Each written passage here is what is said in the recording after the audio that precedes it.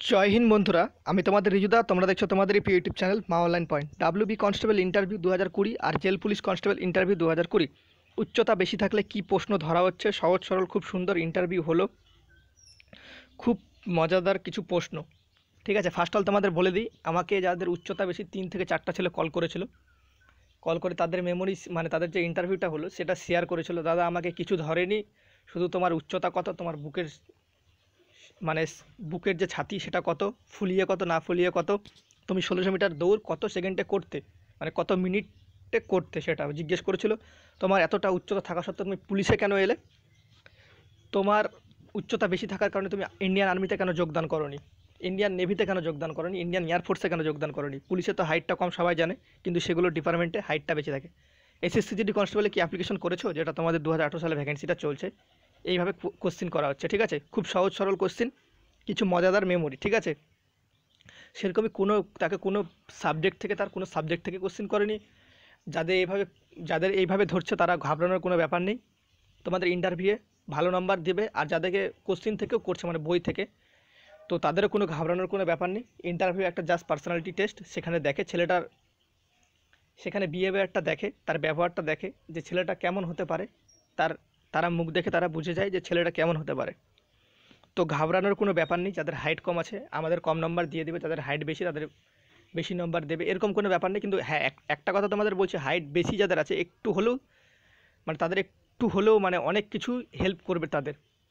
ঠিক আছে? ইন্টারভিউ তো চলো একটা ভাই আমাকে হোয়াটসঅ্যাপে তার লিখে দিয়েছে, তাকে কী কী কোশ্চেন করেছিল, সেটা তোমাদের আমি তোমাদের সবার সামনে তুলে ধরবো এবং শেয়ার করব, তাকে কী কী কোশ্চেন করা হলো। সেই সমস্ত কিছু তোমাদের বলব। তোমরা তাহলে বুঝে যাবে যাদের হাইট বেশি আছে, তাদের কীরকম কোশ্চেন করা হচ্ছে।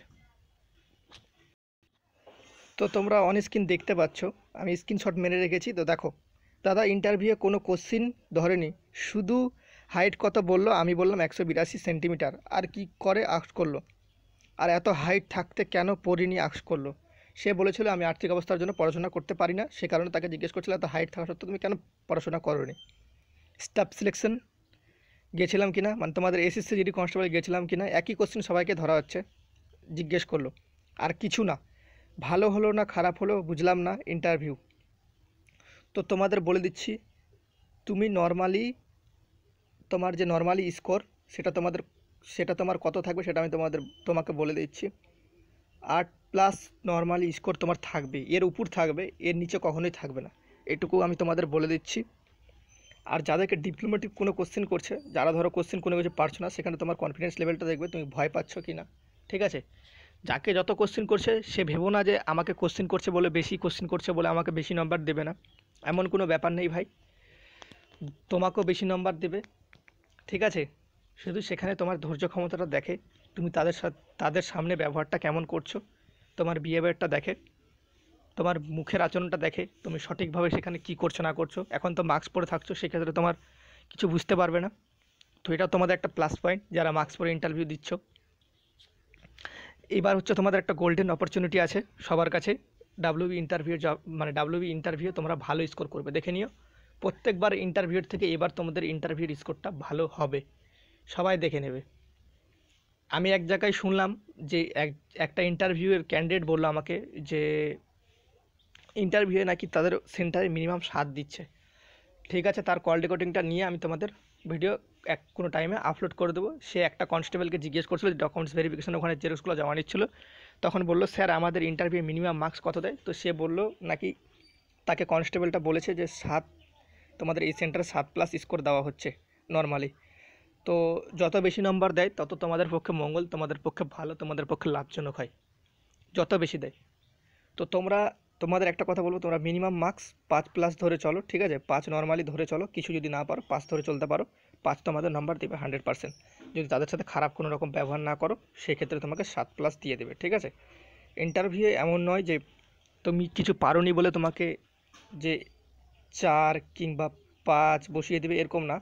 তুমি যদি কিছু নাও পারো, সেক্ষেত্রে যদি তাদের সামনে ভালো একটা পারফরমেন্স করতে পারো মানে বিহেভিয়ারটা ভালো রাখতে পারো তো সেক্ষেত্রে তোমার যদি তাদের যদি চোখে পছন্দ হয়ে যায় যে না, ছেলেটার মধ্যে কিছু একটা আছে আলাদা ছেলের থেকে, সেক্ষেত্রে তোমাকে কিন্তু কিছু না পারলেও নয় প্লাস দিয়ে দেবে, ঠিক আছে?